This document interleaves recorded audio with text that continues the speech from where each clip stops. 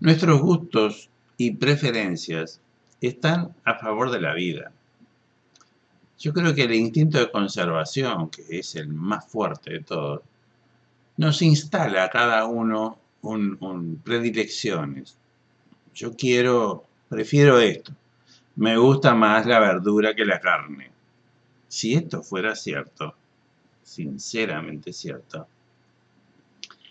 uno podría decir, bueno, lo que pasa es que el cuerpo de esta persona necesita más minerales que proteína. Podría decir eso.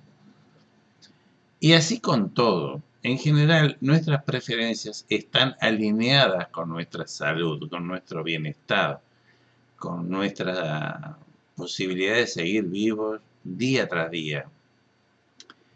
La memoria también funciona según esa lógica. Uno a veces dice, ah, qué horrible, sí, yo no me acuerdo de nada. Bueno, es cierto, hay un soporte orgánico que cuanto más uno se deteriora, camina más despacio, tiene menos resistencia a la fatiga.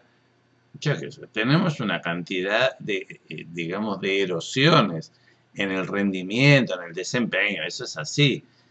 Y la memoria forma parte de eso. Es lógico que una persona anciana tenga menos memoria, pero por el soporte físico, que eh, un jovencito. Pero también tiene mucho que ver el amor. Cuando una persona está apasionada con algo, cuando lo quiere mucho, porque le parece fantástico eso, lo recuerda, lo recuerda. Mientras que si le cae mal, le resulta antipático, lo olvida.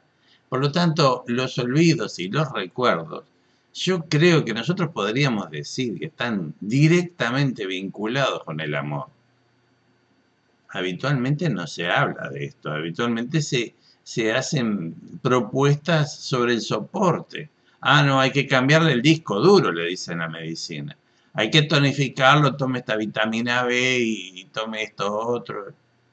Y muchas personas piensan así, yo diría que la mayoría absoluta, ¿no? Y si no es por el lado de la farmacopea, por ahí se lo hace por el lado de la herboristería, de los yuyos, o de otras técnicas también, pero la idea es que no, no hay, digamos, técnicas que uno diga, bueno, no, no. A ver, si esta persona está tan descuidada, tan distraída, tan olvidadiza, Vamos a ver qué podemos hacer con el amor que siente esta persona. ¿Por qué está tan desapegada al entorno que la rodea? Como nosotros no podemos hacer eso, porque no, tenemos técnicas desarrolladas y confiables en tonificar el amor de las personas olvidadizas, entonces descalificamos el amor como fuente principal de la, de la amnesia, del olvido. No, vamos a trabajar con lo que podemos, sin importar mucho cuál sea la verdadera causa. No, no, no. Yo voy a hacer esto, yo voy a utilizar este bolígrafo porque es lo que tengo, pero se te va a quebrar, no te va a servir para eso. Bueno, pero es lo que yo tengo para mover esto. Es lo único que yo tengo para hacer palanca acá es un bolígrafo. Por lo tanto, pero no sirve un bolígrafo porque necesitas una cosa más grande. Pero es lo que tengo. Entonces, así de necio funcionamos nosotros en nuestras culturas.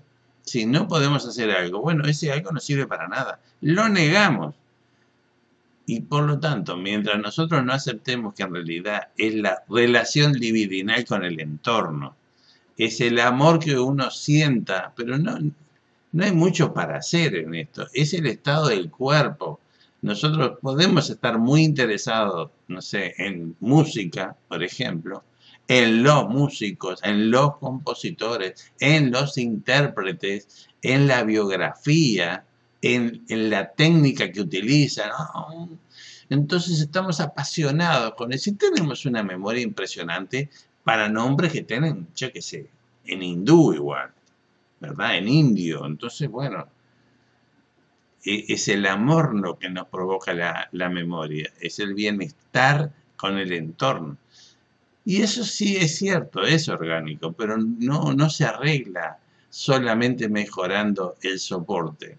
es fundamental poder participar en el bienestar amoroso que uno pueda tener, de qué manera uno encuentra una filosofía que le permita tener mejor predisposición a aceptar las cosas como son, por ejemplo, que es un camino inevitable y obligatorio, imprescindible, para poder predisponerse uno a quererla. Es comprender, aceptar, estar de acuerdo con que también exista. Entonces, la memoria a veces depende más de la filosofía de vida que de la vitamina B.